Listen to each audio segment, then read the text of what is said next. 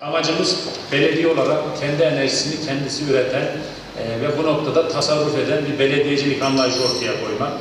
Bugünkü rakamlarla yaklaşık 22 milyon TL yıllık enerji tüketimimiz var. Yani e, e, 22 trilyon lira eski parayla elektrik parası ödüyor- ödüyoruz. E, Bu sene önümüzdeki süreçte o bu projenin içerisinde değil, iki envalık yeni bir GES kuruyoruz.